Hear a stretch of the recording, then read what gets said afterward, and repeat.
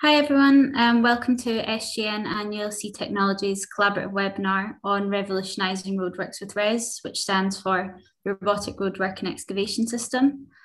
Um, I'm Alex Pender, the marketing specialist at ULC, and we'll be hosting the session today. It's great to see so many people on. We have over 100 people here with us today, just from a range of industries and all over the world.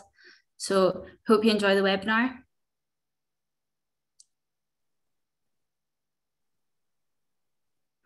So at today's event, we'll be hearing from four industry experts, both from ULC and SGN. Kicking us off today will be Robert Kodadek, who's the president of the ULC businesses, to provide an introduction. And then we'll be taken through the project background and the benefits of the system by Ollie Machin, who is the RES project lead at SGN. We'll then get to see the system from concept through to development with Dr. Ali Asmari, who is the RES engineering project lead at ULC. And we recently undertook some field trials in the US. So in this section of Ali's presentation, you'll get the chance to see firsthand footage of the system in action.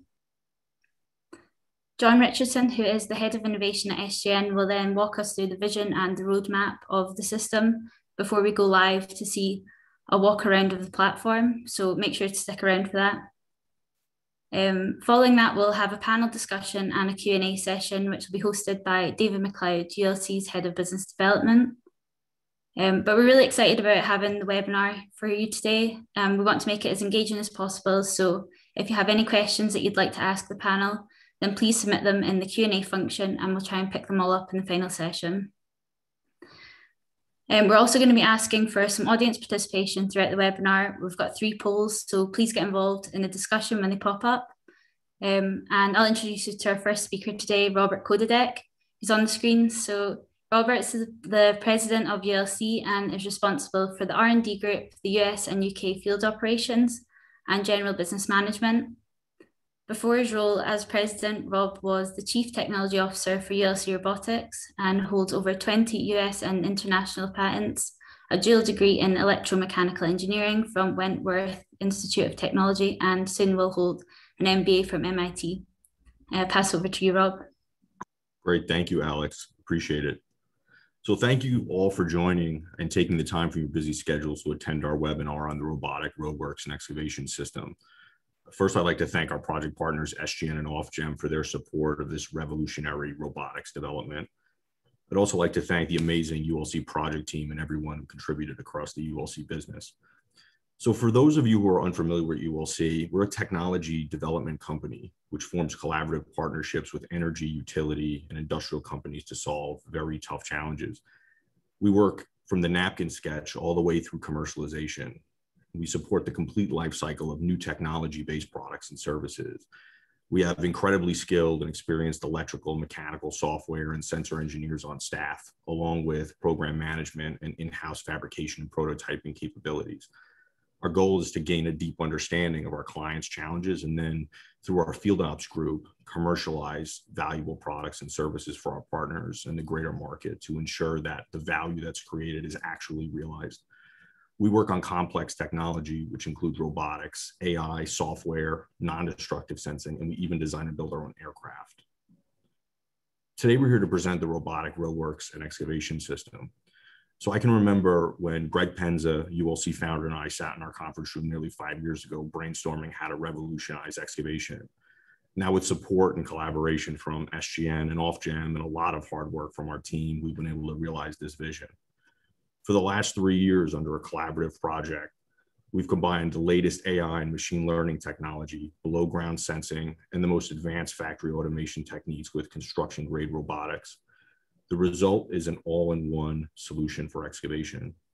So during this session, we'll discuss the project, the technical features of RES, we'll show some videos of our latest field trials from here in the US, and explore the benefits of the system in the context of excavation.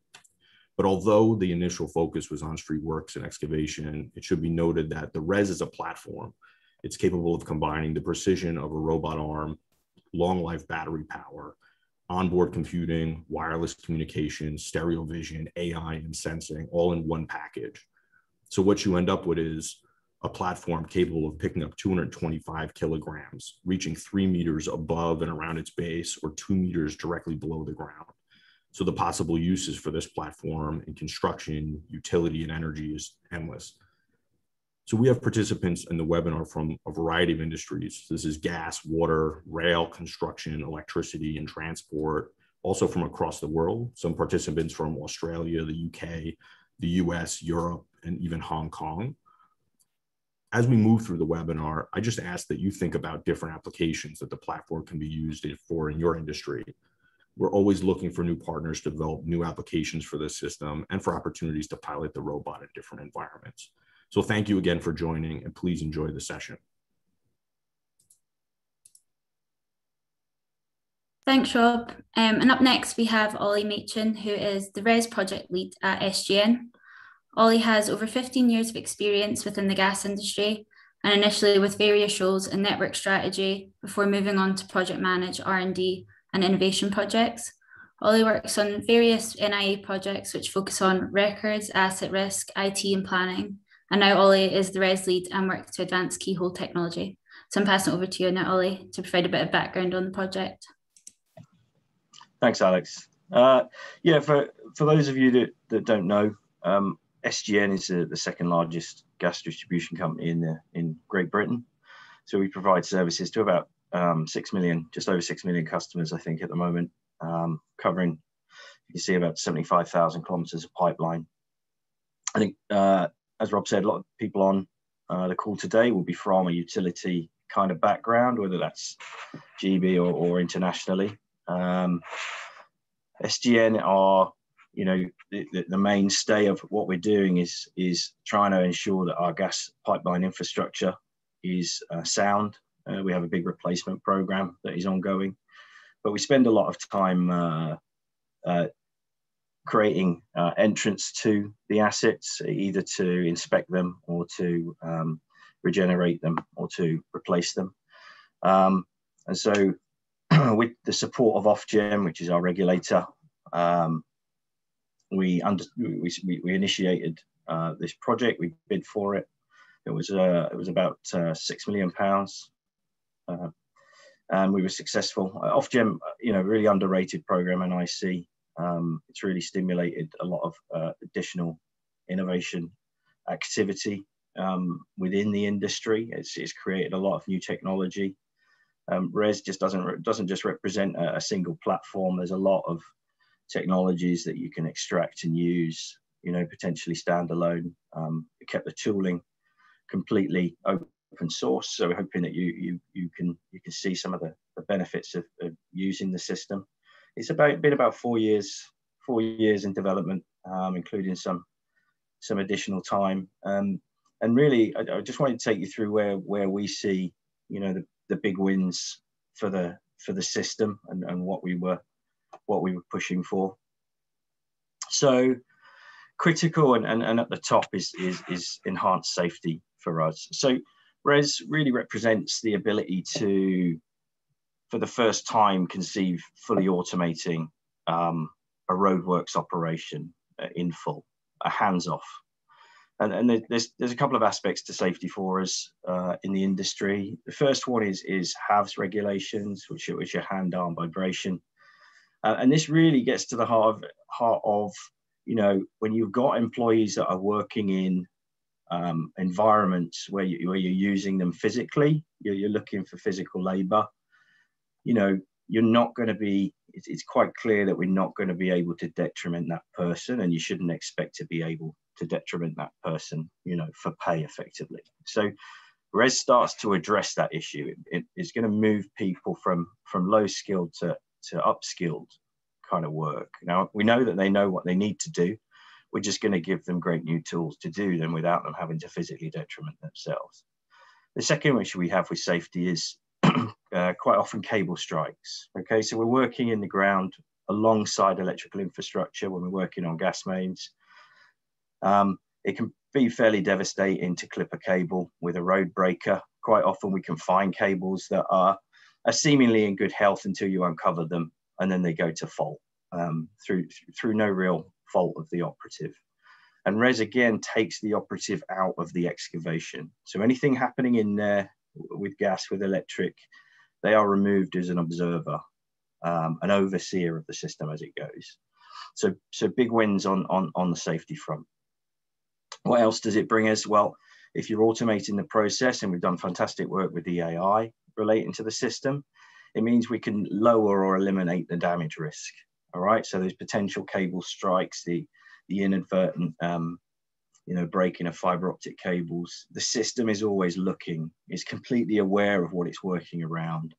And so you can program in the fail safes that perhaps a person wouldn't be able to coordinate and effectively doesn't coordinate very well.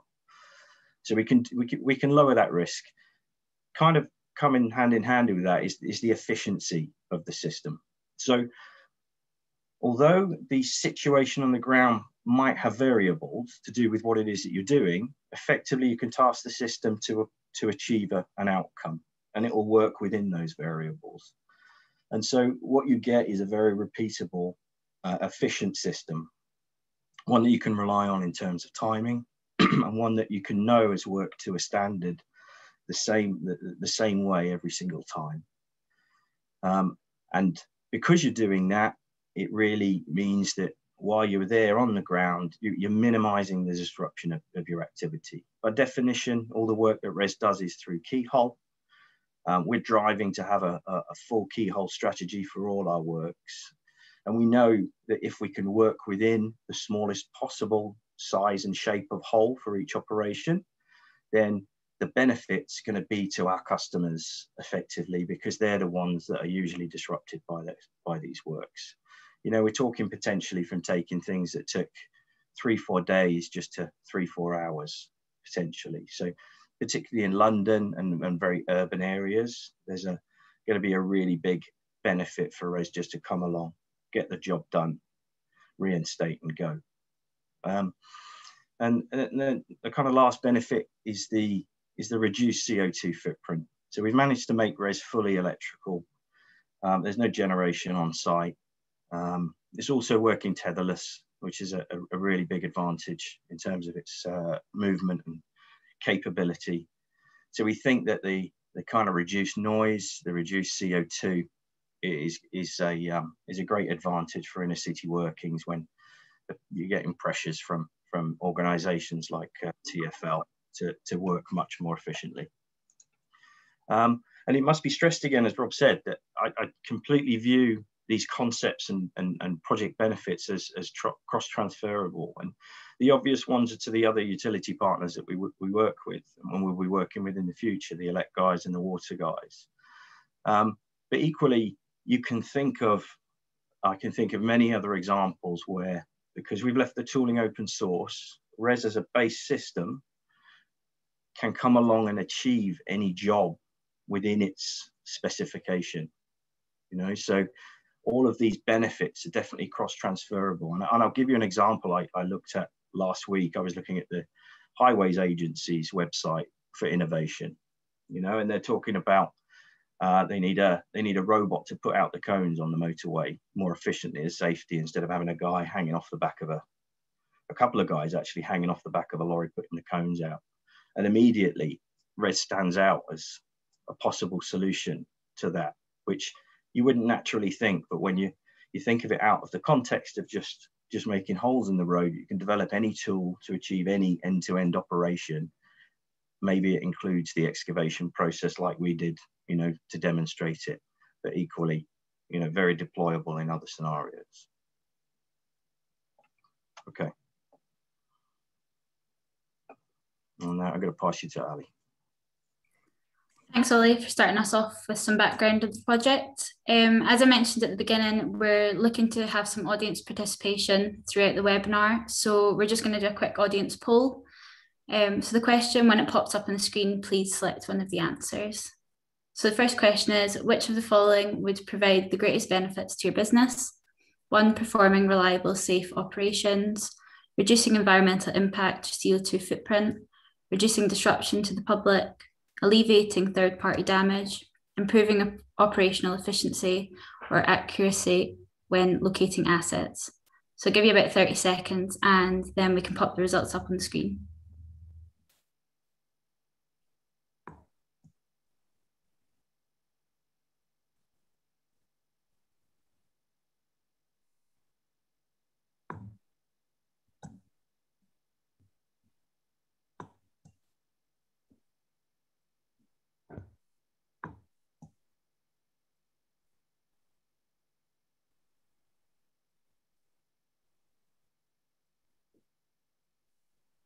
So we can just send the poll there and we can see what the results are. So safety is one of the most important, which I'm glad everyone's a bit safety conscious on this. Um, but yeah, thanks everyone for taking part on this first poll. Um, we can see obviously we had the majority there and these will be picked up during the panel session as talking points as well.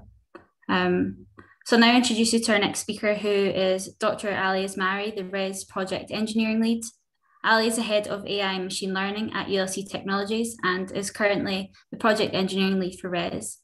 Ali has an MS in robotics and automation and a PhD in mechanical engineering with specialization in computer vision and machine learning from Oklahoma State University. So over to you, Ali. Thank you, Alex. Uh, good morning, good afternoon, and good evening to all of you, wherever you're tuning in from. Thank you very much for your time and your interest in robotic roadworks and excavation system. Um, today, I want to walk you through three years of development um, all of the background um, deep investigation that we did into different aspects of our robotic operation. I want to show you videos of the robot in action from a couple of live demonstration that we carried out with the robot. And um, I want to talk about some of the capacities of the system and uh, the potential for future improvements and integration of other tools and systems into this robotic platform. Three years ago, when we started this project, we had this ambitious goal of creating an autonomous system, autonomous robotic platform that can carry out the entire excavation operation end to end.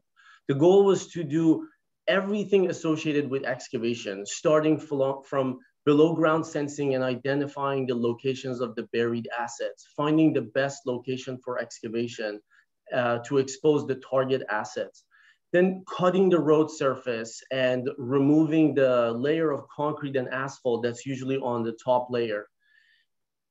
Excavating the soil that's above the assets through a very safe operation at the same time autonomous. So there's less interactions with human operators getting involved in this risky type of task. Once the assets are exposed we wanted to be able to carry out operations on these assets. Uh, what we have done under this project is we developed tools for the robot that can install a fitting on a gas pipe under the ground once it's exposed through a keyhole.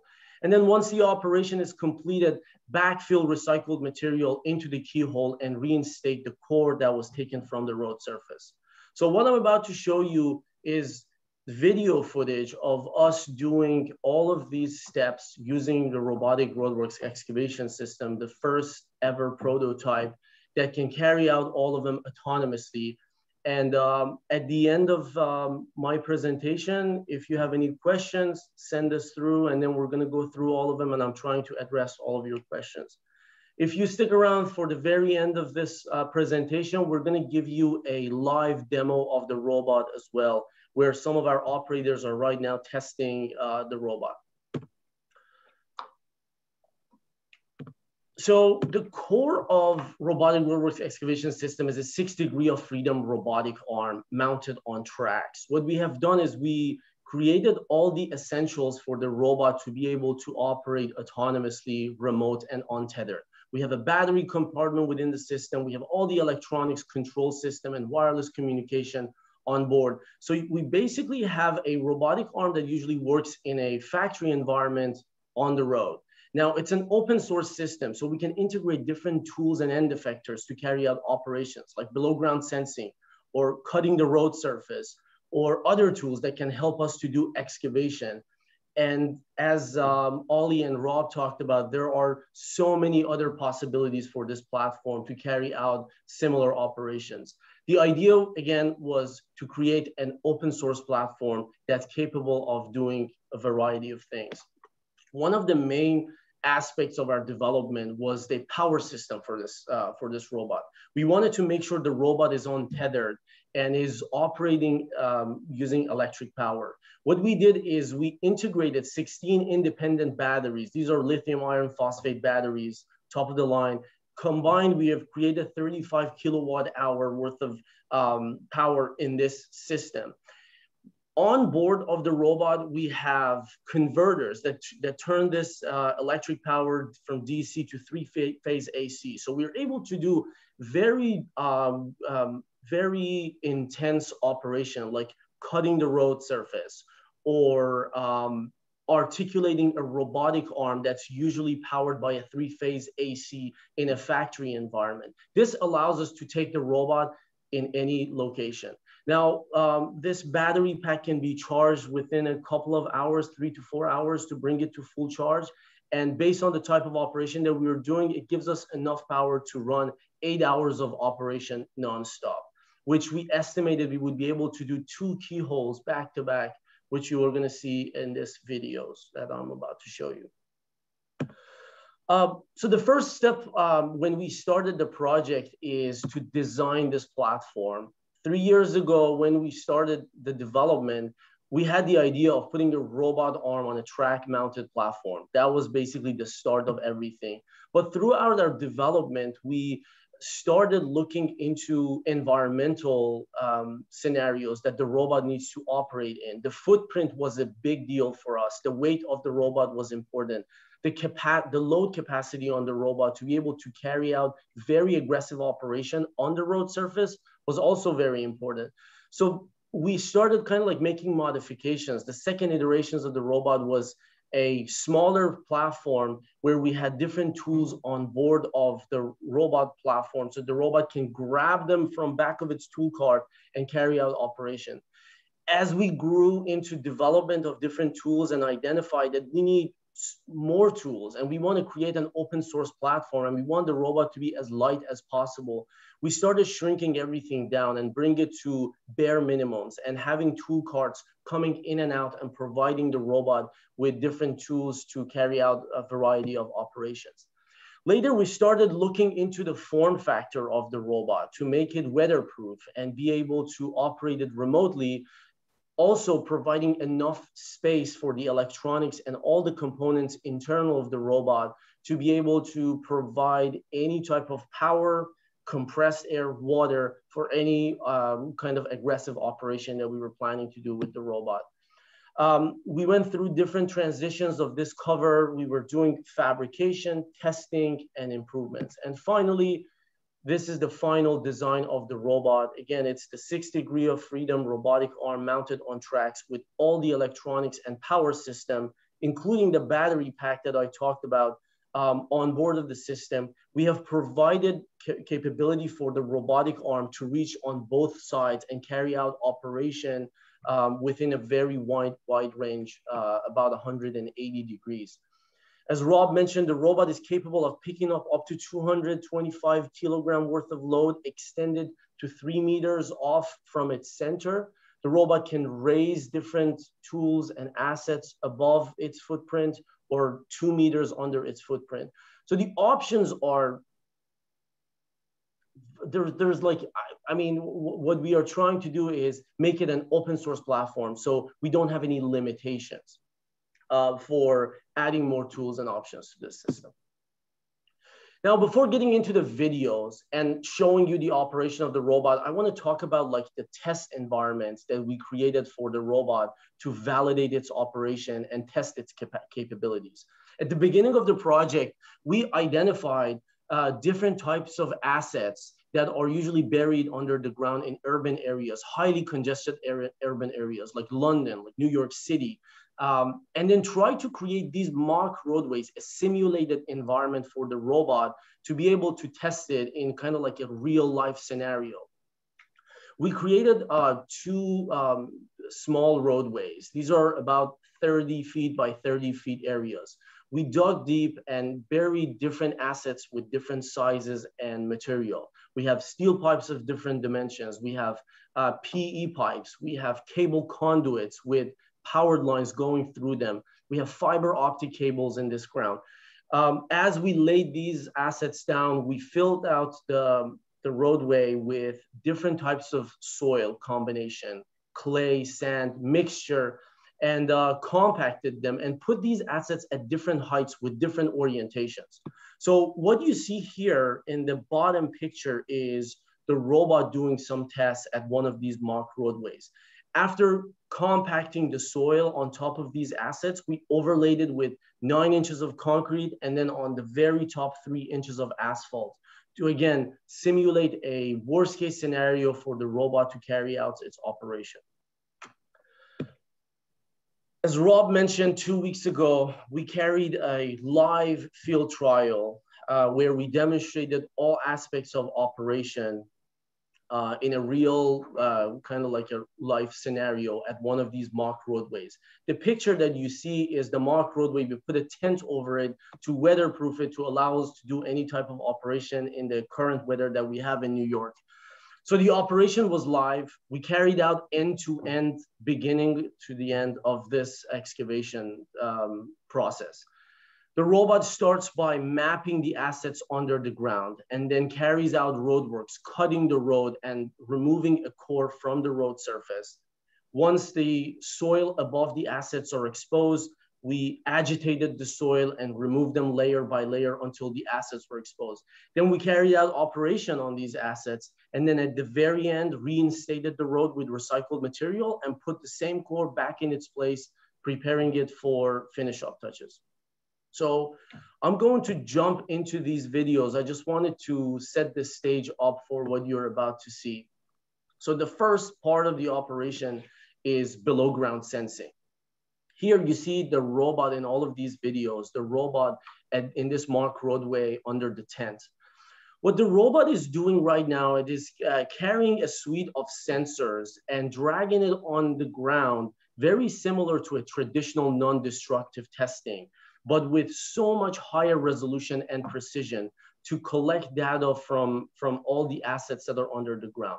The operator essentially identifies a safe zone in front of the robot for scanning where we're expecting to see the assets of interest. The robot sweeps the ground using these sensors.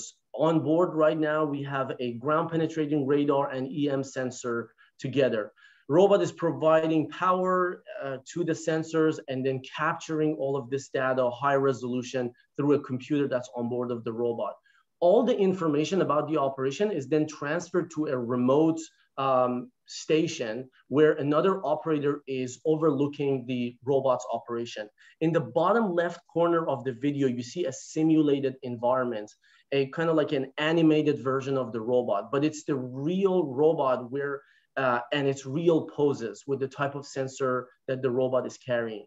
What we are doing here is we are not only scanning the robot using traditional methods of dragging the sensor over the ground, but we are able, because of the precision of the robotic arm and the six degree of freedom, we, we are able to adjust the polarization of the antenna to any degree that we are interested in. As the data is being collected, everything is being transferred to a remote device on the side. Now, once the data is completely collected, everything is geotagged, and then the robot autonomously process the entire raw data set from ground penetrating radar and EM sensor, and then creates a 3D point cloud of the assets in front of the robot where the scan happens. So this is now a shot of the user interface where the operator is interacting with the robot. What the operator is seeing is a 3D point cloud in front of the robot that yellow mark is showing the zone that the scan took place in. Now the operator, we have provided different tools for the operator to clean out this data, eliminate noise and filter out specific regions and identify the best location for potentially excavation and carry out the next piece of the operation. So here our operator is using the user interface, eliminating some of the noise, uh, removing the background noise, adjusting the depth that we are interested uh, to see the results in. And at the end, you have a 3D model of the assets under the ground. What you see here, it's very clear and visible, is a pipe that's going perpendicular to the orientation of the robot and two pipes that are crossing it. And this information can be used, this 3D model information can be used to estimate the depth of where the assets are and also potentially down the road collect enough data for development of machine learning models that can autonomously detect potentially the type and sizes of these pipes under the ground. going to the next step. So the idea of sensing, below ground sensing was to identify the assets, identify potential obstruction in the way of excavation and find the best location for cutting the road. So the next step is uh, for the robot to use different tools to cut the road. But before that, the operator uses the user interface and identifies the best location to carry out this keyhole excavation. As you can see, the operator is dragging around a simulated core in the area while looking at the 3D point cloud. And in this case, we decided to go after that crossing of the two pipes, trying to expose that and show the accuracy of the sensors and uh, calibration of the robot to achieve a specific spot under the ground. The next thing is uh, to cut the road. What our operators have done is they have attached the tool cart to the robot.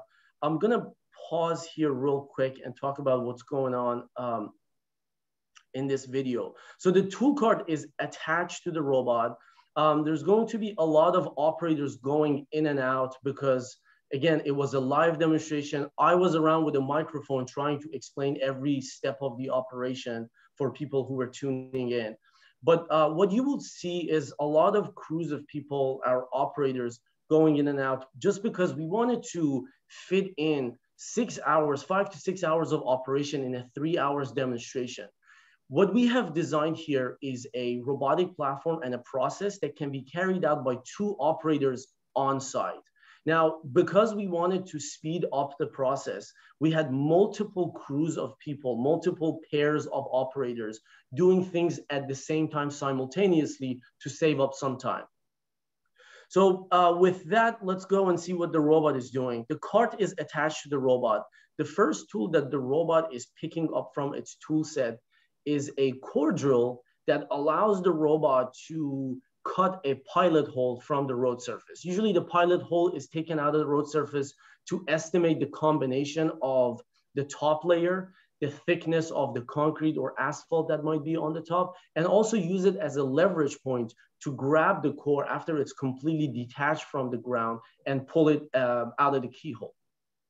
So the robot uh, brings the core drill to the specific spot that the operator has identified through uh, processing the sensor data.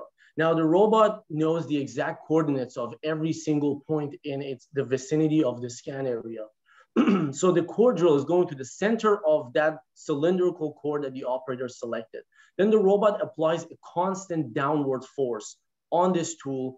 Um, so it descends the tool down into the ground looking for the forces. And as soon as the, co the core drill goes through the entire thickness of the concrete and asphalt, the robot senses the force, pulls the tool out, and now we have the pilot core out of, out of the, the road surface. The next step is uh, to cut this core out of the ground. So the robot puts the tool back in the tool cart that's attached to the side of the robot. Again, you can here see how the operation is being done autonomously. And what our operators are doing is just supervising the operation, making sure the robot is doing its thing. Um, after the core drill is dropped off, the robot picks up the next tool, which is an aggressive chainsaw for cutting the road. One thing I wanted to mention before the robot picks up this tool is that we created an autonomous tool changer method for this robot to be able to in integrate with different tools that are designed for different types of operation. So through this robotic arm, through this cable carrier that you see in front of the robot, uh, we are providing different tools with different levels of power. For example, in, or, in the case of a core drill, we are providing high current AC power. In the, course, in the case of a sensor, we are transferring very sensitive high frequency sensor data through a coax cable we are providing water through this cable carrier to a specific tool. And all of this communication, this contact is happening within a couple of seconds as soon as the automatic tool changer comes in full contact with the tool. So not only we are mechanically securing a tool that can weigh up to 150 pounds with the robotic arm, but also providing it with enough power and data communication uh, necessary to carry out its operation. So the chainsaw is picked up. I'm going to talk a little more about like the, the design of the chainsaw, its power and its capacity. um, right now I want to focus on what the operation looks like. So the core has been identified. Its location is known, its perimeter is known. The first thing that the robot does is it goes through a circular pattern, scaling the ground, cutting slightly the perimeter of the core to be cut. And then later the robot goes into um, multiple plunge cuts to almost loosen up the surrounding of the core from the road surface. Here is a time-lapse version of this operation. I wanna mention the entire operation is happening autonomously. The robot has force torque sensor that allows it to identify how much force needed to be put behind the tool. And the speed of the operation is very dependent on the hardness of the, the concrete that we're cutting. Now here, the robot paused for a second. This is a routine maintenance that our operators carry out every once in a while to tighten the chainsaw. This is kind of like an intrinsic um, um, uh, maintenance routine for any type of concrete cutting chainsaw. Once our operators see that their chainsaw needs tightening, it takes about uh, one to two minutes to tighten the chainsaw and then the robot carries out the rest of the operation from exactly the same spot that it was left off. You can see the water is being pumped through the chainsaw and dripping down. So this water is being provided from the robot arm, going through the, in, the uh, surrounding of the engine that's actually running the chainsaw, cooling off the motor, and also being used to cool off the cutting bits on the chainsaw. So once the plunge cuts are completed, the robot goes into a um, routine circular pattern to clean up the surface of the core that's being cut. Uh, every turn the robot does, it plunges a little more and carries out this cleaning procedure. The very last spot is the clean off plunge cuts. What we do is we don't cut the entire core in one shot. We cut, let's say if the core is 12 inches thick, we cut about 11 inches to not to let the water to go inside uh, the, the ground and contaminate the rest of the, the soil underneath. What we are doing is we're leaving the very last bit of connection between the core and the road surface for the very last plunge cuts, which you just saw the robot finished off. So now the core is essentially completely cut loose from the road surface. Now what the robot is doing is uh, dropping off this tool on the tool cart, fully autonomous. Our operators are there to um, supervise the operation and make sure everything is happening smoothly. Again, the same tool cart has everything necessary for cutting and removing the, uh, this core from the road surface.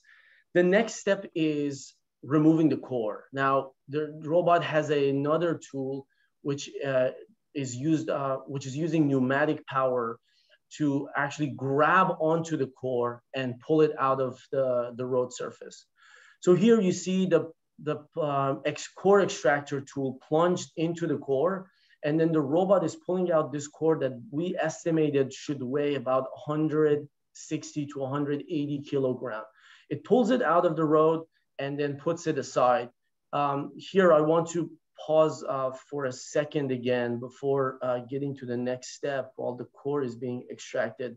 Um, as I mentioned, we kind of like doubled our crew to be able to speed up the operation. So we have a two-man crew that are installing the next cart next to the robot for the next operation. We wanted to um, eliminate any waste time.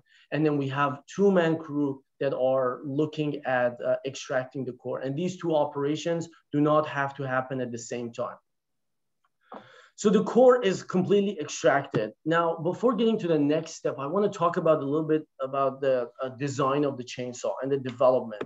We started off this project again three years ago with the idea of replacing the traditional methods that the cores are taken out of the road surface, which is using a core drum that has a lot of issues with cooling off the cutting bits or not being able to plunge through the entire uh, piece of the road surface in one shot.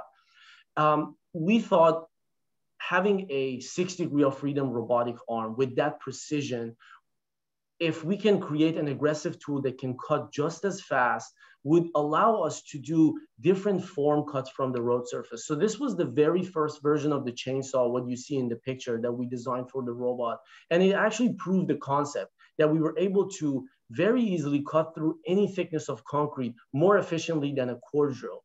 But we noticed that the operation was taking too long. With this tool, we, we were spending about an hour and a half to cut a 12 inch thick uh, concrete core, um, about 24 inches in diameter. So we upgraded this tool and make some improvements to it, and then upgraded the uh, power to a uh, 25 horsepower electric motor. Now, this motor is almost like the three times the size of a typical handheld chainsaw that a operator uses manually to articulate. The reason the chainsaws don't get any bigger, off the shelf chainsaws are not uh, bigger than what we see in the market right now is because that's how much human operators can handle the amount of backlash and torque from the tool once it gets caught. But in this case, the robotic arm does not have any issue of carrying the load or the torque associated with cutting this aggressive um, environment. So we were easily able to upgrade this to a massive tool, did a lot of testing with it, and then identified we needed to do a lot of improvements on our robotic procedure to be able to articulate it freely to cut different sizes and shapes out of the road surface. So we upgraded to the third generation of the chainsaw. What we did here is we used the same engine uh, to run it electrically, but we integrated a seventh degree of freedom into the robotic arm. What you saw in that video is that the tool head, the blade could freely rotate around its axis uh, for uh, indefinite number of turns. And that allows us to articulate the tool, push it, and the robot can reach about three meters away from its base. So we can pretty much cut any shape away from the robot in any size, as long as it's um, under 225 kilogram for the robot to pick it up. So as I uh, mentioned, after development of the first chainsaw, we had to do a lot of work on the robotic aspect of the operation. This picture shows the very first core that we cut out of the ground. You can see the jagged edge is on this thing. This was basically a core cut with multiple plunges. This was the first proof of concept for us that using a chainsaw with a robotic arm can allow us to cut, cut different shapes out of the ground. Later, we improved our robotic operation, and this is the very first round core that we cut and pulled out of the ground. Um, from that point, we started um, pushing the system to its limits. As you can see here, we cut a ring within the road surface. This doesn't mean that cutting the ring has any benefits, but this shows the capacity of the robot to precisely cut any shape, any size with such a precision um, that it doesn't crack the concrete as a whole and keeps the integrity of the entire piece. We started pushing it to its limit. We started cutting cores as uh, wide as 36 inches in diameter, cutting multiple rings within each other in one shot. And uh, after improve, making a lot of improvements to the hardware and the, to the software aspect, we started being more creative and cutting different shapes out of the ground. So what you see here is an elongated core that's cut from the road surface. The benefit of this is in the keyhole excavation, in order to have enough room around the asset to carry out operation, like installation of a fitting, sometimes the asset might be too wide or the location might not have been picked exactly in the dead on the asset. So with an elongated core, we're able to give the operators more room around the asset or the robot more room around the asset to carry out um, other operations that require um, much wider tools. Uh, here is a picture of the robot pulling out a, an oval shaped core out of a slab, a concrete slab, reinforced concrete slab that we had in the lab. And finally, this is a 26 inch, I believe, diameter core that we cut out of one of our mock roadways. This is nine inches of co reinforced concrete and three inches of asphalt on top, weighed about 190 kilogram, and we pulled it out in one shot. So that's the evolution of the chainsaw. Let's uh, go back to uh, the rest of the operation. So the next step for us after exposing the soil above the buried assets is to remove this, uh, to agitate it and, uh, and remove it. What we try to do is developing a unique tool head that not only effectively agitates and remove the soil, but also doesn't cause damages to the assets that the third party assets that might be under the ground that haven't been identified through below ground sensing. So we went through different iterations and different prototypes, designs and fabrication. Every time we came up with a new idea, we started the project with the idea of using a rotary auger to agitate the soil and then remove everything using vacuum excavation. That was not very successful. Then we switched to using uh, compressed air to blast the ground and agitate the soil. But then we needed a lot of flow, airflow for that purpose. So we started uh, making the system more and more complicated, uh, adding a rotary system to these nozzles so we can fire off different nozzles with a lot of um from the compressed compressor and uh, agitate the soil effectively. We still had a lot of issues. We switched to the idea of potentially articulating the nozzle and attacking the soil with different angles. And we found some merit to that. There were some successes.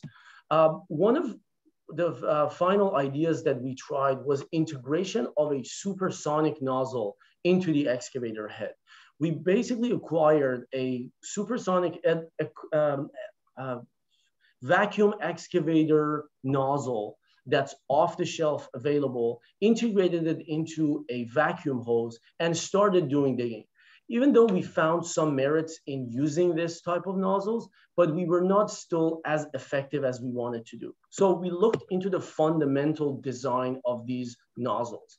We basically created an environment that we could simulate any type of nozzle using the same concept that are used in the jet engine to turn a compressed air into supersonic speed to create a very hard impact at the front where uh, the air, meets the soil.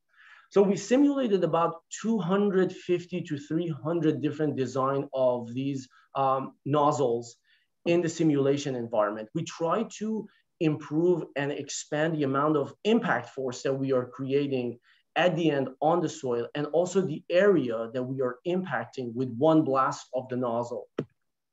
After doing multiple iterations, we started building different prototypes from some of the most optimized um, supersonic air nozzles. And from our lab environment tests, we identified the winners and then started integrating them into excavator heads. So here you see the very first excavator head that we designed for the robotic arm with integrated supersonic air nozzles. It's basically a pipe that's connected to a VACX unit. We provided compressed air to one supersonic air nozzles and the robot was moving around trying to agitate and remove the soil at the same time this was the very first autonomous excavation that we did. We were able to dig a small hole, but we couldn't expand the area. And we had a lot of issues with clogging these hoses. So we made uh, improvements. We made, we increased the number of these supersonic air nozzles. We made, we optimized the nozzle for the specific compressor that we were using for the excavation. We also created different robotic operation that would allow the robot arm to articulate this end effector in different orientation and agitate the soil from different angles. Um, later, we made more improvements, increased the number of um, supersonic air nozzles. We also integrated everything within the robotic system. So the sequencing between firing these nozzles were controlled from the robotic arm and coordinating that with the motion of the end effector to have a very effective uh, exposure of the entire surface area with this, uh, with this supersonic air. This is the very last um, system that we designed. After having a lot of successful excavation, we made a compact unit. So in this um, picture, what you see is our um, VACX unit connected to a hose that's in the center of this tool head. Around it, we have all the necessary valves for sequencing and controlling the supersonic air nozzles. And there are four hoses on the side of the tool head that are connected to these supersonic air nozzles. And then in front of the robot, we created a Cartesian cover that um, keeps the soil from spreading around after getting blasted by this uh, supersonic force. With that and seeing all the development iterations that we had to go through to get to this point, I want to jump into the video from the field trial. So back to where we left off, we cut the road surface, removed the core from the keyhole and put it aside the operators also attach another tool cart to the robot where the robot can pick up the excavator head. Now, these are all the tools necessary for carrying out the excavation operation. As you can see, this is a relatively larger device. So what the robot is doing is first picks up the tool from the tool cart and then brings it at the chest level for our operators to integrate any type of VACX unit that's available with this, uh, with the vacuum hose of the tool and also plug in compressed air to the valves. So what these two operators are doing is we have created adapters based on the type of VACX unit that's used. They're adapting the standard hose coming the VACX into the, into the tool head. And then the articulation and operation of the tool is being controlled by the robotic arm. So once the connection is completed, the robot picks up the tool. Again, in front of the robot, we have a Cartesian cover. You will see it in action very soon. But the purpose of that is to prevent soil from coming up after being uh, agitated by this um, highly supersonic compressed air. The yellow hose on the side in this video is the compressed air line that's provided to the tool as well. Now the robot is going again through a fully autonomous procedure based on the size and the location of the keyhole where the operator uh, defined earlier. The robot is going through an autonomous process, rotating the tool head 45 degrees. And every time it agitates, the vacuum removes the uh, pulverized soil and the robot descends the tool further and further down till it achieves the depth that the operator has assigned for it. Uh, one of the things I want to mention is we have a very sensitive force torque sensor at the end of this robotic arm. So in case the tip of the end effector comes in contact with an asset under the ground, it will immediately sense the forces and the anomaly, and, and it will retract the tool from the ground so the operators will be able to go in and look at the condition.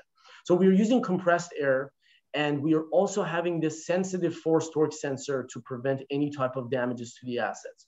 Now here you can see the keyhole. This, uh, this is the crossing of the two pipes that we saw earlier in the uh, sensor data in the 3D contour map that we created from the uh, condition from scanning the ground. You can also see the surface of the core, the concrete core that's been cut from the road, and also the assets that were about um, five feet deep into the ground. So the excavation is completed. The next step is carrying out operation on the pipe. So earlier we talked about the open source platform. This is up to this part, everything was common between different industries, electric, gas, water, sewer, they all carry out excavation operations. But then when it comes to the assets that's exposed, there are different types of operation that needs to be carried out to prove the concept of this robotic system and the accurate six degree of freedom robotic arm being capable of carrying out very precise operation on these assets, we started with installation of an electrofusion fitting on a plastic pipe, a plastic gas pipe. So we identified a common pipe size in the UK and we buried that under the ground uh, at a certain depth. And then we created tools that right now are being operated manually by human operators when they get access to the pipe um, to peel off the surface of this plastic pipe, prep it for electrofusion of uh, a fitting onto the pipe. So what you see is the robot is, uh, excuse me, let me switch back to this video real quick. So what the robot is doing is descending down this tool head that's been designed for peeling off the surface of um, the pipe. The robot is on a force torque compliance mode where it's looking for the pipe. It's uh, once it grabs, once it identifies the pipe and it comes in contact with it, it complies with the orientation of the pipe and clamps tightly around the pipe. Now, the mechanism on board is a very standard system. It's a blade that uses a standard technique and cuts different layers of the surface of this plastic pipe piece by piece until it exposes a wide enough area on the surface of the pipe for installation of the electrofusion, uh, electrofusion piece. Um, a couple of things interesting to mention about this tool design is the design of this tool is utilizing only pneumatic motors. We were trying to stay away from any electromagnetic field uh, around the area that can potentially be hazardous. There might be gas leak. So there's nothing really um, risky about the tool that's carrying out the operation. The robot carries out this operation for about uh, five to 10 minutes, depending on the length that we need to expose for the fitting. Once the shaving is completed, the robot unclamps from the pipe and autonomously pulls the tool out of the keyhole. So here we have the prepped surface ready for installation of the fitting. The next step is uh, putting the electrofusion fitting on another tool that the robot can articulate and uh, attach to this plastic pipe. This is a collaborative operation between the robot and a human operator. What our operator is doing in this video is he brings a standard um, electrofusion fitting, uh, place it at the end effector of the tool head, connects two leads that basically powers up, powers up this fitting, heat it up so that it can bond with the plastic pipe, scans the barcode. Again, these are following the same procedure that are standard in the market right now. Scan the barcode on the piece, clamps it down, and from this point on, the robot gets into an autonomous mode. What the robot is doing is now it's aware of the location, exact orientation of where the peeling action took place. Now it descends this uh, fitting down into the keyhole, looking for any backward forces. Once the uh, robot senses the pipe, it presses the clamp against the pipe the robot can apply very accurate amount of force downward according to the specifications and standards on this um, fitting. While the uh, downward force is being applied, the two leads power up the fitting, the elements heat up the fitting, and then the plastic, the two plastic pieces will bond. Once the bonding is complete, the robot releases the clamp around the fitting and then pulls out the tool out of the keyhole and that's the end of installation of the fitting. So that's the fitting installation. Once the work on the asset is completed, it's time to reinstate the, the road.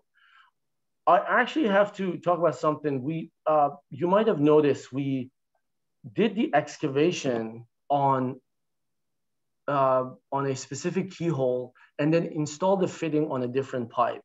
Uh, when we were designing the mock roadway, this was at the very beginning of the project, we didn't have that specific size pipe under the ground. We had a similar size pipe, but not that specific diameter pipe that's very popular in the UK. So in this mock roadway, we don't have that pipe of that specific size. What we did is later after development of the tool, we created another area to try and validate the universal access fitting installation, which you saw in the previous video. So given that the fitting is completed, now the next step is to reinstate the road. What the robot is uh, doing, again, very similar to the other operations, the operator bring in a tool cart that has that specific tool head for the robot.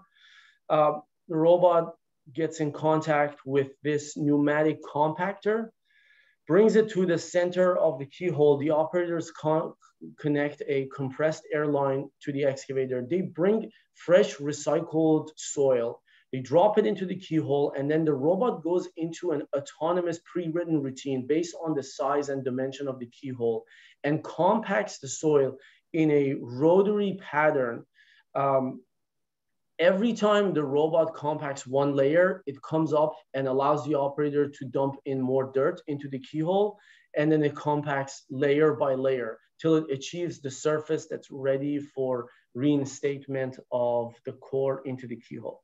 So once that's completed, the robot drops off the compactor and then uh, picks up the next tool, which is the core extractor tool for picking up and dropping off the, the core from the keyhole or into the keyhole. So the core extractor gets picked up, articulated by the robot. The robot goes back to the same spot that the core was dropped off the last time, enters the keyhole th um, through the pilot hole that's drilled in the center of the keyhole, uh, picks it up and brings it to the location where the keyhole took place, lines it up with the keyhole. And here I wanna talk about some of the force compliance methods that we have designed for the robot. Now, this is a very heavy core. I mentioned about 160 to 180 kilogram. What the robot is doing is it descends it down, sensing different upward forces. It basically pushes the core into the ground, applying a very gentle downward force. And as soon as it feels any type of obstruction, it wiggles the core around a little bit in an autonomous way to identify the smoothest and best orientation to push this core back in its spot. So as you saw here, there was a little pause. The robot adjusted the uh, orientation of the, the core, pushed it in, and it pushes it in until there's no um, force uh, pulling the core extractor anymore, then it lets go of the core and pulls the extractor out of the core. And that would be the end of the operation. I have to mention one thing. This core came out in two pieces. The first piece was the 10 inches thick uh, concrete piece, and then there was a three inches of asphalt. What you see here in this video was dropping off the concrete core. Later, we dropped off the three inch asphalt piece on top of this concrete piece, which we don't have a footage for it, unfortunately. So that um, completes the excavation operation. Now, last but not the least, our team. Um, this was what you saw in all these videos and all this presentation was three years worth of work of um, more than 25 engineers, sensor scientists, technicians with different backgrounds working on different aspects of this operation. Um, they worked through different technical challenges. They had to design, build, and create things that had never been done before. And at the same time, power through this global pandemic that we all had to deal with. And um, I, um, feel very fortunate and honored to be part of this team and um, be a part of a team that develops such a cutting edge technology. And we're really looking forward to the future where we deploy this robot in field carrying out operations on a day-to-day -day basis in London, New York, or anywhere in the world. Thank you very much. I am going to switch to the next presenter. Thanks, Ali, and hope everyone enjoyed seeing the journey that we've had with RES so far, and of course, footage from our recent field trials. Um, so we're just going to do another quick poll. So please get involved when the question answers pop up on the screen. Uh, so our next question is, which feature of the platform do you think would be most beneficial in your industry? Reliable below ground mapping, safe and autonomous excavation, precision, repeatable autonomous functionality, performing complete roadwork operations, or robotic arm rapid open source tooling. So again, I'll just give you about 30 seconds and we can see the results.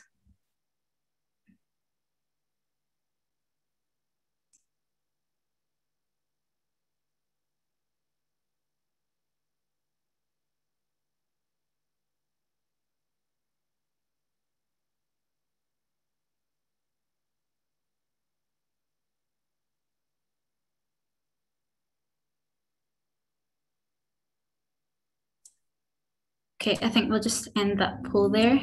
Thanks for everyone for taking part. So the top answer again was safe excavations, um, but we got a good range across the, the different answers. Um, but just another quick reminder, so we're getting a lot of questions in, uh, so please keep submitting anything that you'd like to ask our panelists for the upcoming discussions um, by using the Q&A function at the bottom of the screen. But next, I'd like to introduce you to our next speaker, John Richardson, who is the Head of Innovation at SGN. John has experience in managing both technical and commercial risks associated with high value tenders, proposals, and projects. John also has a Bachelor of Engineering in Mechanical and Electronic Systems, Masters in Law in Oil and Gas, MSc in Innovation, and is currently the Pipeline Industries Guild Scottish Branch Chair. So over to you, John. Thanks, Alex. So I'll be relatively quick and then we, we can go on to the, the important part for today, which is the, the for me the Q&A and the roadmap and the, the vision going forward. So as Rob and the team touched on earlier, the, the initial vision came through a discussion about conventional methods for excavation. Uh, the process obviously includes a number of risks and challenges to, to, to us all. Uh, th those include safety to our operatives as the process is labour intensive. There's intense planning through closing roads, liaising with local authorities, and sometimes arranging complex traffic management systems. Large excavations can also provide a lot of disruption to the public in general. And congested excavations uh, cause risk, or potential risk and damage to third party assets as well as the, the operatives with this challenge in the backdrop, we, we were looking to provide a platform that enabled disruption of conventional methods via an open source platform. This would enhance safety and remove the operative from the hazard, reduce the, the footprint, which would also increase flexibility of how we plan and perform our work operationally, and make it easier for us to locate the assets and and also one of the most one of the, the key ones for, for myself is the use of existing data and, and future data from ASLED. You know, can we enhance the use of AI to support operational decisions in the field? Uh, and with that, what's important is increase uh, number of uh, trials, field trials, and, and more importantly, in live environments, and we'll continue to develop the, the platform. Now, when we talk about the future, Rob had mentioned over five years ago now that this came from a discussion with, with, with Rob and Greg, I, believe, and they then engaged and developed a plan to deliver the platform with SGN.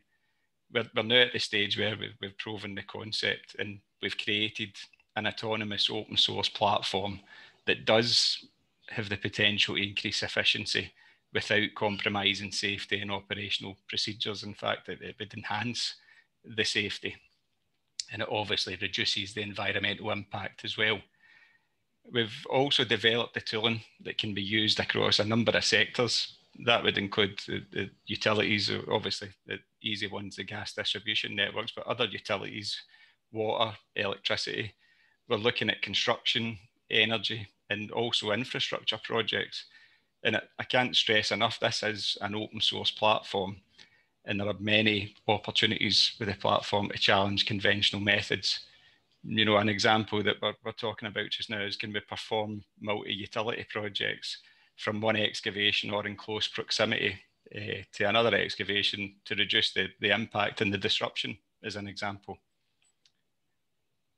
Now, when we're looking forward to as far as the roadmap is concerned, what's key in the, the, the, not too distant future and, and this summer is the live field trials in the UK. This will heavily influence the implementation route that we take, whilst being agile enough to, to continue to fast track any value added subsystems. Now, an example of that would be the, the vacuum excavation soft touch nozzle that Ali uh, presented a, a trial. We're actually already doing uh, parallel trials in partnership with Transport for London, ULC, SGN, obviously, and one of our, our main RepEx contractors. And that we, we took that approach because we've seen the value in one of the subsystems and products that had been developed, and we've fast tracked that into an implementation trial. The next part of the roadmap would be engaging cross industry with subject matter experts to identify more applications for the platform. Ollie touched on earlier, we're looking to upskill and retain our key talent at SGN. And uh, there's an opportunity for us to hire new talent and explore the art of the possible as far as the platform is concerned.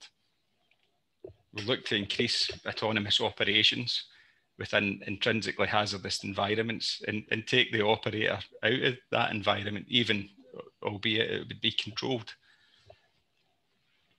And going to my, my final point now, you know, why we're here today, we want to disseminate the outputs and knowledge gained from the project and move from proof of concept, which we've done, to an implementation plan, not only within the gas distribution networks, but across all other sectors.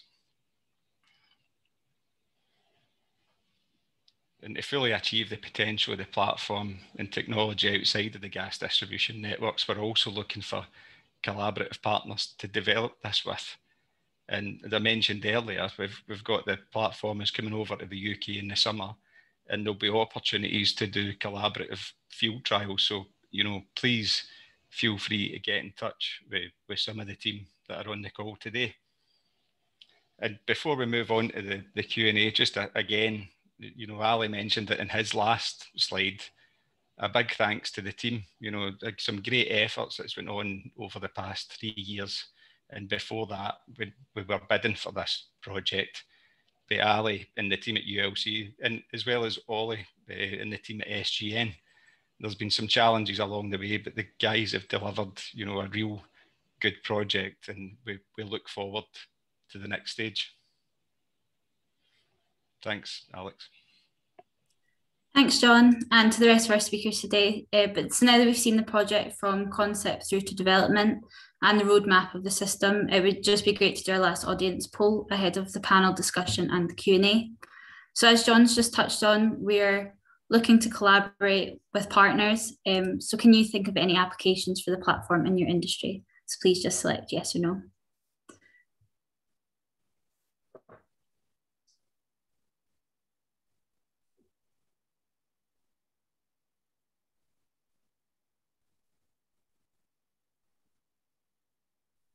And I think we'll just look at the results now.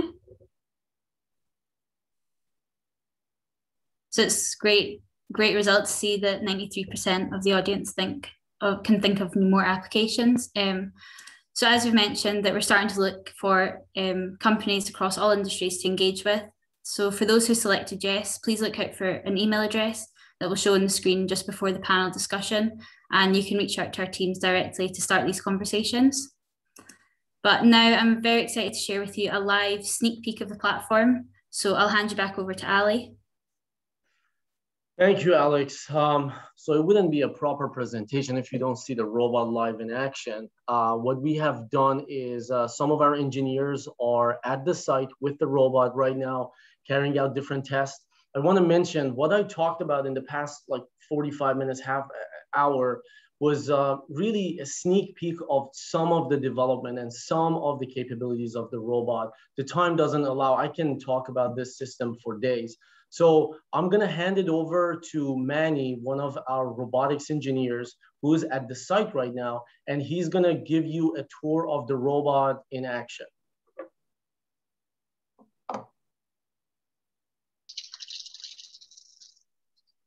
Thank you, Ali. Um, my name is Manny. I'm the robotics engineer for this project. I've been on the project for three years now. And my primary role is to program the robot arm. I'm here at the mock roadway that Ali mentioned with another engineer, uh, Lou, software engineer, and we're conducting some tests on the sensor package. So let me flip the, uh, the view, so I can show the robot. So here's the robot. Um,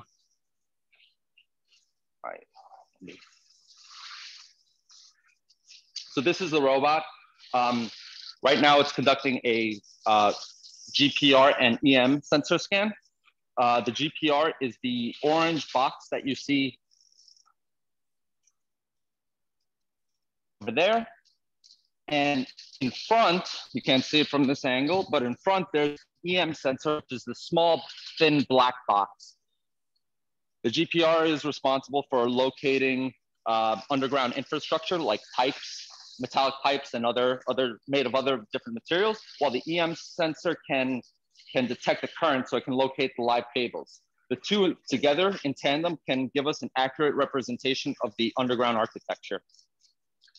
So one thing to note, right now the robot is applying a constant downward force onto the ground because this this sensor, typically in industry, is pushed on a cart where it is effectively dragged on the ground by its own weight and, and scans the ground. So in order to mimic this effect, we have the robot applying a downward force equal to the, um, the sensor's weight. Now this compliance, what this allows us to do is it, um, it allows us to contour any type of road surface. So if the floor is not leveled or it's perhaps at an incline or a decline, the robot will contour it and follow that path. Likewise, if it's, if it's very rough and, and has many peaks and valleys, uh, it'll contour that too.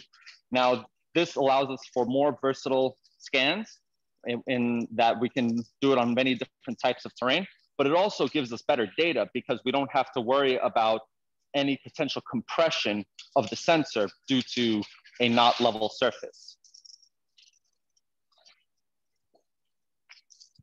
So now I'm going to just quickly walk around the robot showing different parts. Uh, the first thing I want to point out is the battery system.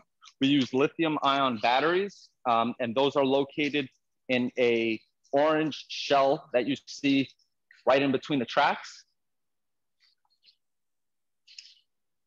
Each lithium ion shell Each lithium ion shell is, is housed inside of this orange casing and, and provides power to the rest of the robot. Uh, the track system, in an effort to be more eco-friendly and eliminate the risk of hydraulic fluid leaks, we've opted for electrical motors as opposed to hydraulic motors. Those are located behind this gear. They're not very, very visible because there's a casing. Here we have just a multi-purpose switch which controls the power for the various components as well as several e-stops and several set status indicators. So now I'm just gonna go around the robot and then um, go through each of the panels and show you what's to take a peek under the hood. All right, so the first panel,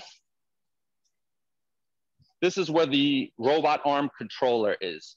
This is basically where all the programming on the robot arm is done, and as well as where all the wiring, where all the other external components get wired into the robots. You could see, you could see each of these plugs is a different um, system in and of itself, and it all and it all gets wired into the robot so that it can communicate and see it.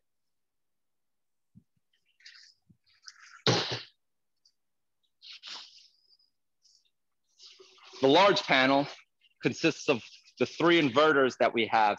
The inverters pull the power from the batteries and then distribute it out to the arm. And it, we use three main inverters and then we have all the associated electronics for the power system underneath.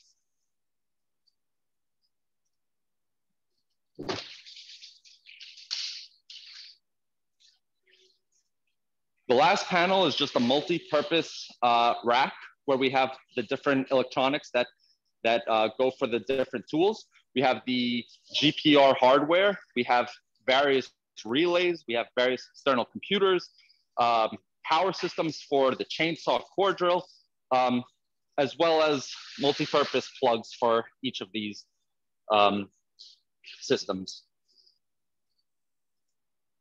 The robot also has an onboard compressor where it pulls air from for the various pneumatic um, applications. You can't really see it, but it's, it's located in the front. Basically, um, we use the we use air to attach and detach tools. And the tools, as Ali mentioned, are, are located on a tool cart and then the robot attaches them using air. So these are the brackets for the tool carts.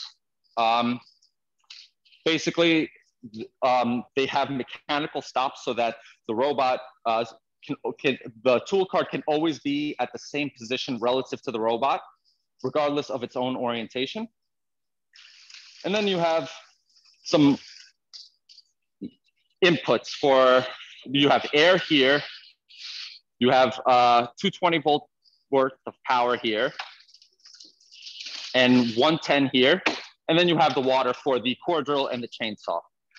Um, another thing I'd like to point out about the system is that using various sensors and uh, localization techniques, it doesn't matter if the robot is on an angle or not. Um, it uses an inertial measurement unit to, to basically find where it is relative to gravity and then creates a compensation for it. So no matter if the robot's at an incline or decline, it'll always operate perpendicular to gravity. So that's, that's basically it. Um, just a brief overview of what, what's going on in the robot. Thanks for listening.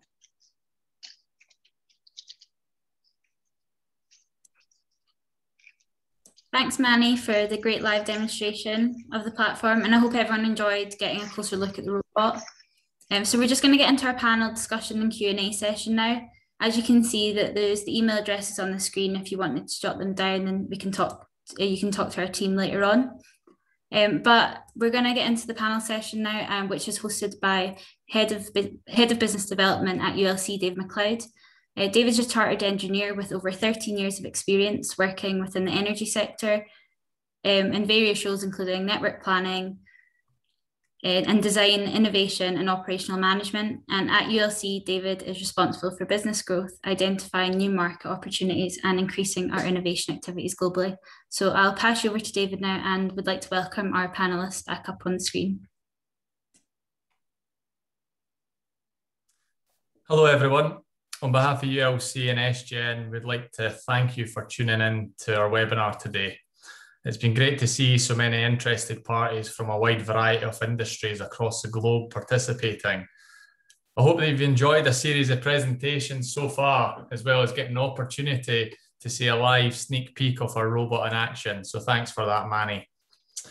So far today, you've heard from all our presenters on the evolution of the project, the benefits and the goals, the platform capabilities and the specifications, what's next in our thoughts and the roadmap of the platform, as well as how you can get involved in bringing the technology development to your industry in order to meet your overall um, operational needs.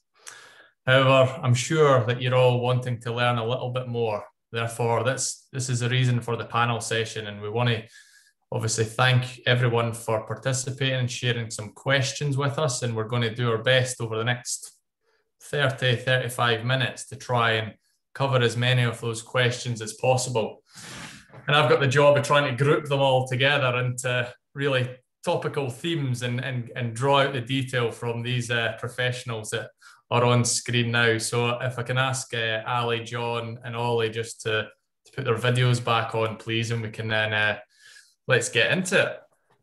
So, I guess firstly to start, Ali, we'll start with you. You know, you've portrayed a very comprehensive overview of the system, its core capabilities, and the specifications. But what was the greatest technical challenges that you and the team of you feel have overcome from delivering the solution over the last three years?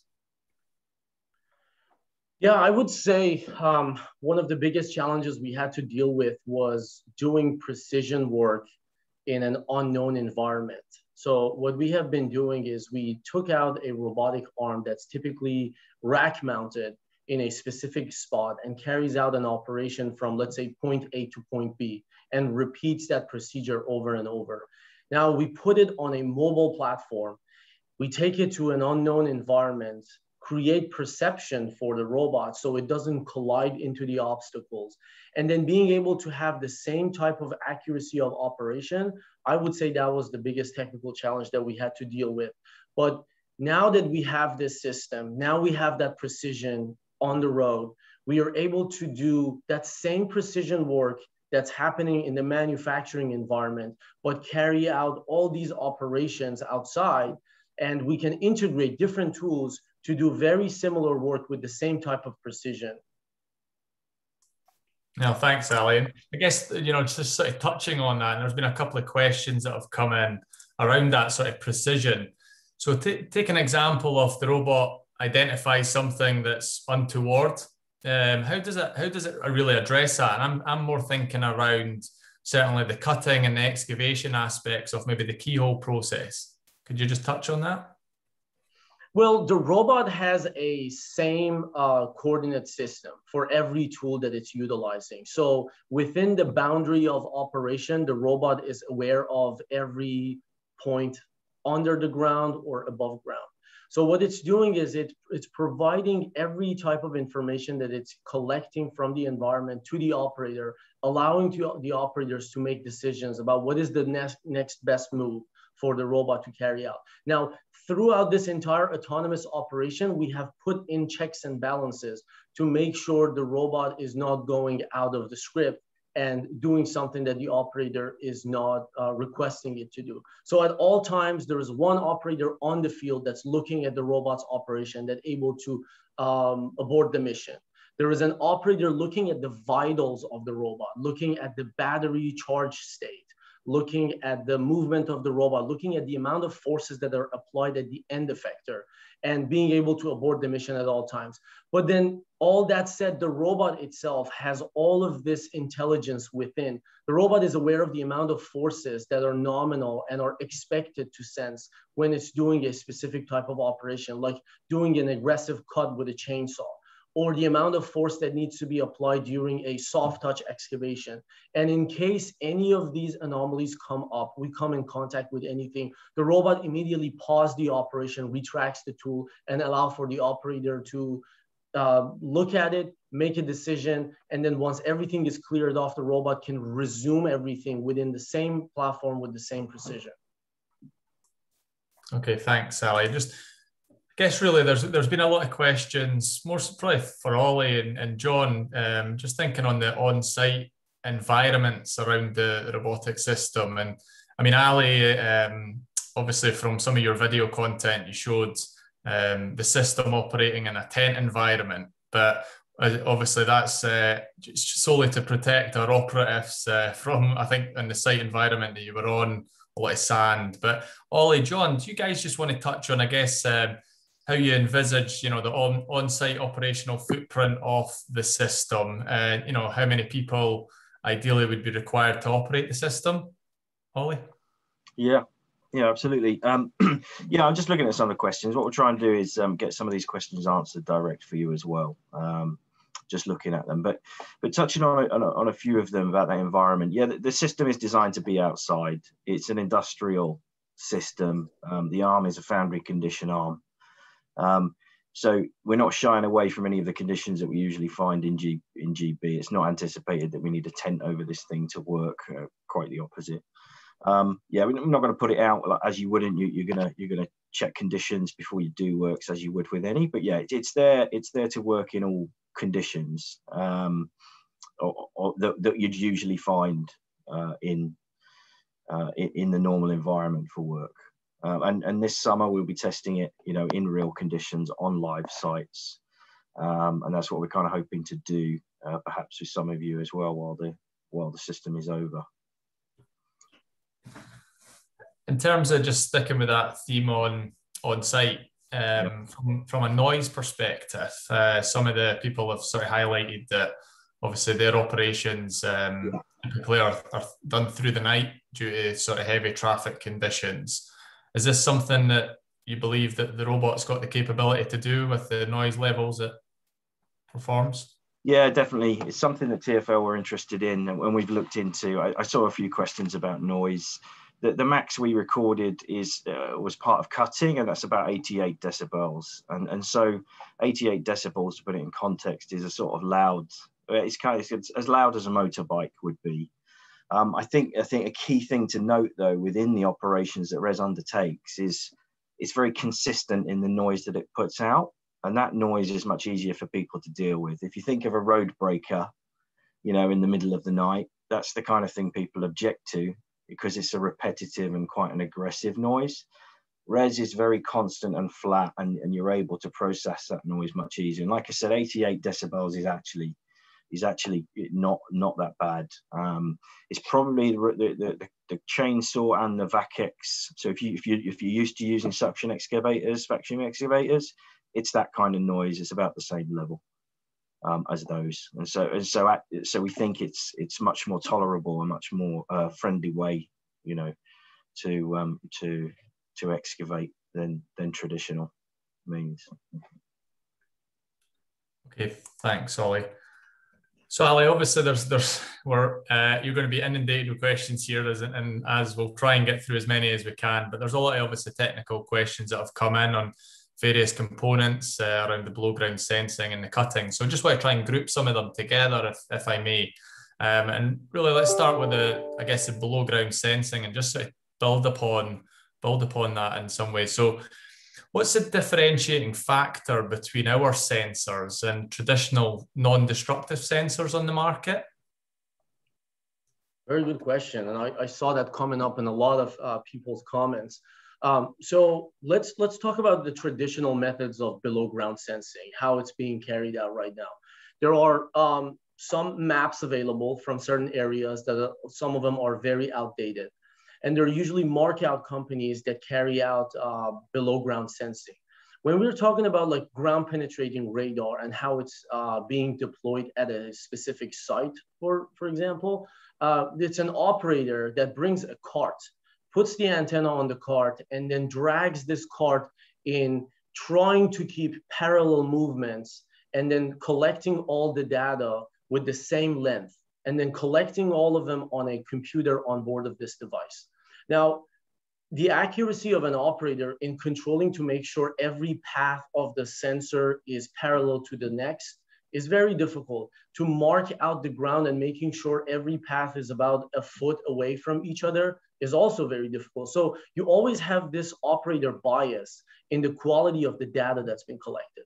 Now, once the data is completely collected, this data needs to be sent out to a subject matter expert to review them, to process them and make sense of it.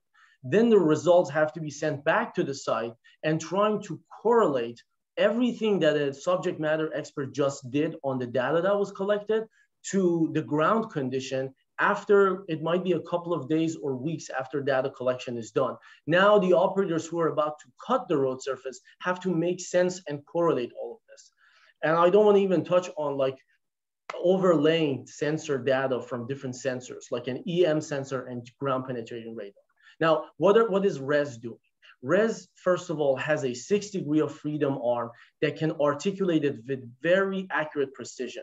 So when the robot is moving the antenna in parallel paths, we can make sure that every pass is not just a foot away from each other. We can bring it down to like 25 millimeters from each other. And that's kind of like the accuracy that the hardware that's out there right now cannot achieve. So it increases the resolution of the data that's being collected.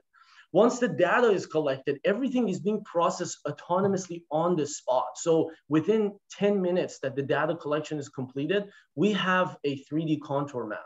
And then we have tools for our operators on the spot. The trained operators would be able to eliminate the amount of noise with like simple bars and adjustments, looking at specific depth of the ground, and then make sense of it. Now, the best of all is once you identify your asset, the robot is right there. It just took like 20 minutes from the point that you start the data collection and have the 3D point cloud ready. So the robot will go and cut in the exact same spot that the sensor identified a specific uh, asset.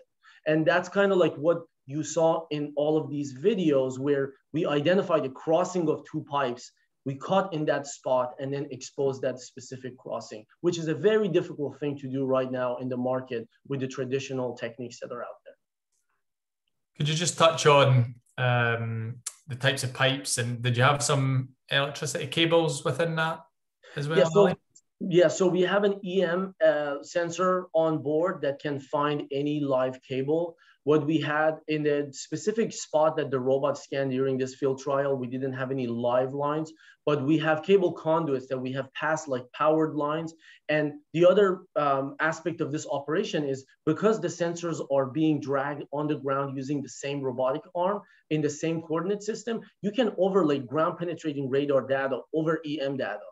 And later on, if you want to integrate other sensors, let's say an acoustic method of non-destructive testing, that can be integrated into the robot arm and the result captured from all these sensors can be overlaid on top of everything and be 3D visualized for an operator to make decisions on the spot. Well, thanks. Thanks for that, Ali. I think, uh, you know, I think we've tried to group some of these questions together and hopefully cover cover a lot of it there. Um, just I guess moving on, really, uh, just maybe jumping towards more this more the sort of platform in, in itself. Um, one, there's been a couple of questions really on the sort of dimensions. Obviously, I think we've mentioned the weight, but you know, typical sort of dimensions of the system as a as a whole. And could you touch on around the autonomy? You know, is it powered by remote control via Bluetooth or is it radio frequency? Can you just elaborate on some of that for us, please?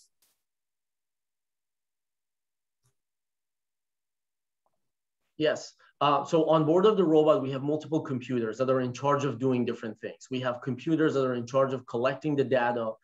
We have computers that are in charge of the autonomy of the robotic arm. We have computers that are logging the information and the state of the robot, like the orientation of the end effector, the state of the batteries. All of this information is captured and they're all communicated to a base station remotely through wireless communication to an operator that's at the site.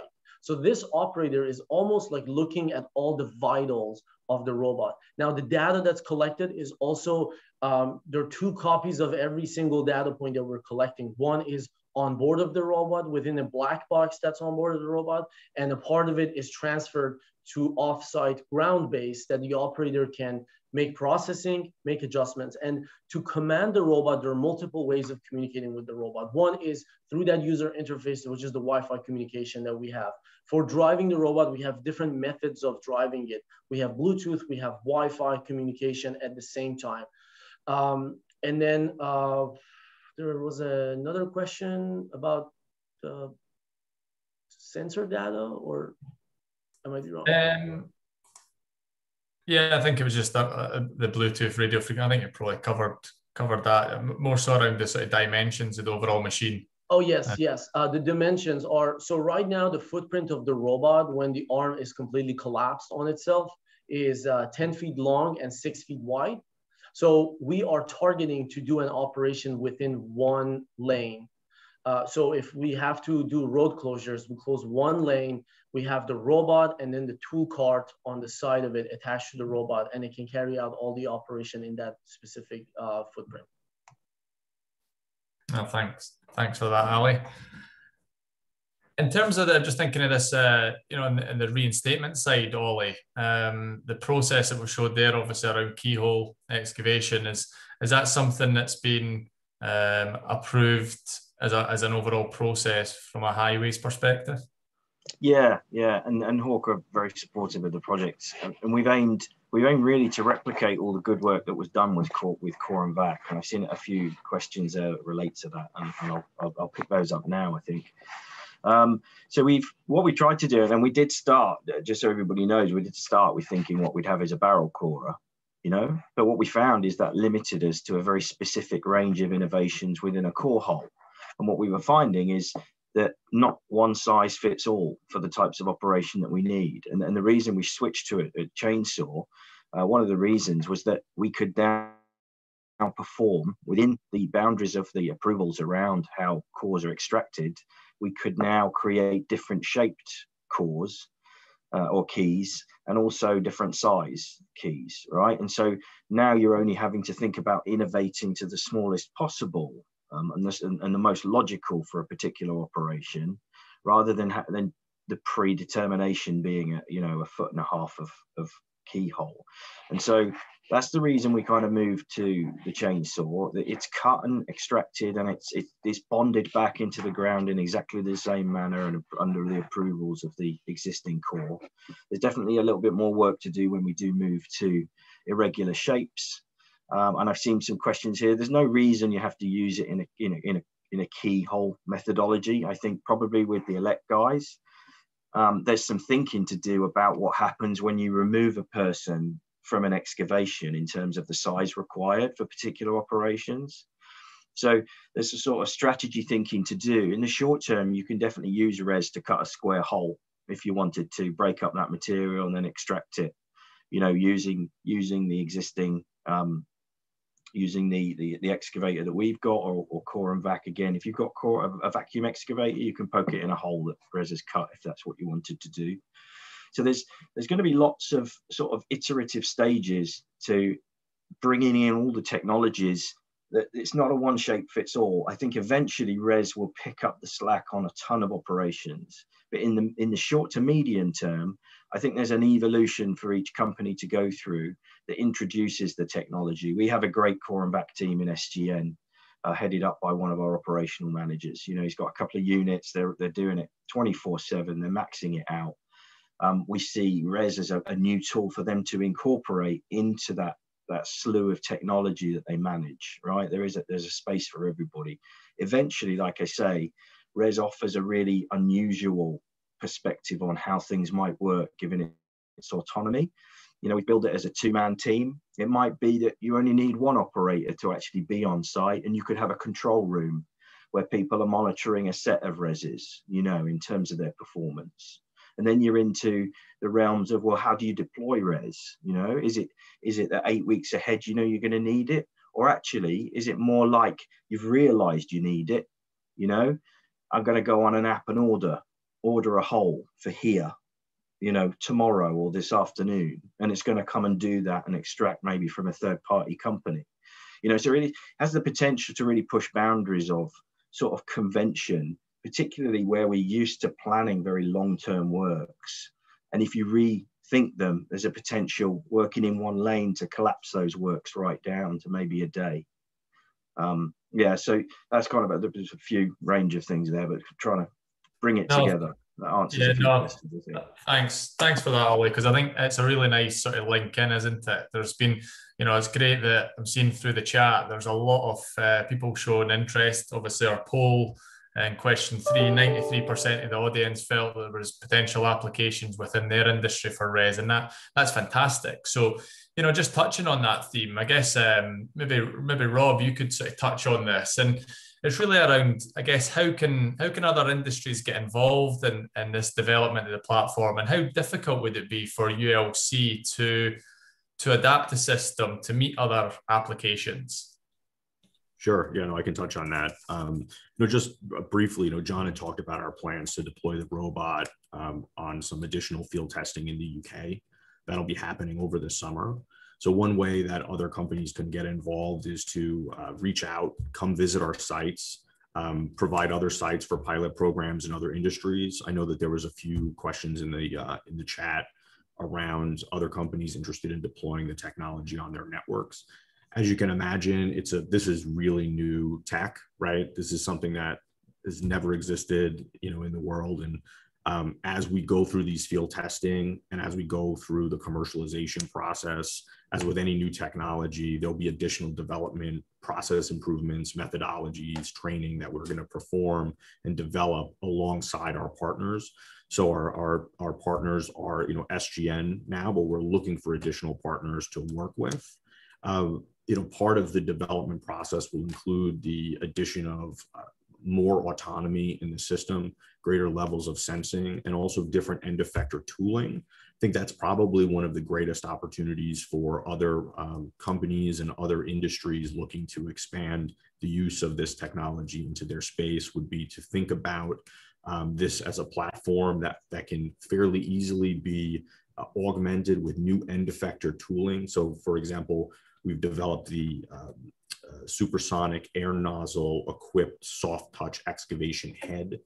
That's a tool that goes on the end of the robot, but you know, as Ali showed you through uh, the presentation, we've developed a pile of other ones and also even iterations of those individual tools as we've gone through the project. And so they've gotten kind of better and better over time and have been kind of reimagined as we learn more about our environments. So I would think about sensors, I would think about mechanisms and applications that we could offset or support traditional work that, that are kind of high value items now that could benefit heavily from safety or uh, benefit from uh, additional autonomy.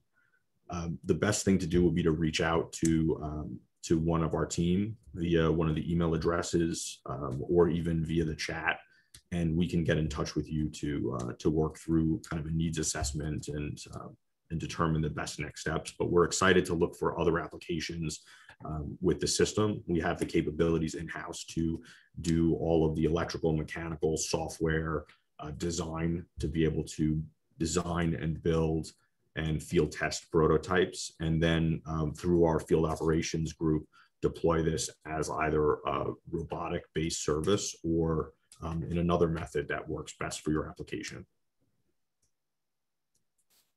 Yeah, thanks, thanks, Rob. Um, and John, I guess uh, just you know from your perspective, obviously Rob's touched on the you know the robots. Um, excitingly, it's coming to the UK soon. What's um, SGN's plans when it when it finally arrives in, in the UK? Well, I think that's the benefit of getting the kit over here. And I think the whole commercialization implementation will really be influenced by the field trials, Dave. But you, you know the, the gas networks just as well as myself. We've got the opportunity to look at a transmission use case, you know, greater than seven bar assets, which are normally, you know, in remote locations. But we've also got the opportunity to look at distribution field trials, which are, you know, 10 times out of 10 and built up urban environments. So I think those field trials will heavily influence where we take it. And, you know, we're, we're really excited about those field trials coming up. And I think the, the opportunity to use them in different environments will also open up more ideas and suggestions as to how we implement going forward. And I even see a couple of uh, questions there well, it's, it's, it's, more suggestions. I think Viv, Viv Harvey did put one on the, the chat about, you know, can you link it with database providing GPR surveys? We, we can do all that. that. This platform is really an enabler, not just from an operational perspective, but also from a planning perspective. And even, you know, the suggestion again, can you facilitate markups on the ground to visibly indicate services or assets? Of course we can, you know, and that's where these live field trials will take us and you, you know, I think Rob mentioned that Ali presented it earlier. If if we see anything that we think we can fast track and put into another use, whether it be distribution, transmission, water, infrastructure, then we've actually proven through the project that we can do that, you know, in an agile manner. And you know, I think the prototyping the the the nozzle took maybe a bit between three to six months before we were actually field trialing having new iterations of it, changing the design, and actually field trialing within a week or two again, you know, with those changes made. So I think the objectives haven't changed with the project, but what the project has given is is a bit of creativity to how we actually manage these R&D and innovation projects with a real view on commercialization at an early stage you know, so we're, we're really excited about this. And, it, and I would stress again, I know we've said it in a, a couple of occasions, but it will be over here in the next couple of months.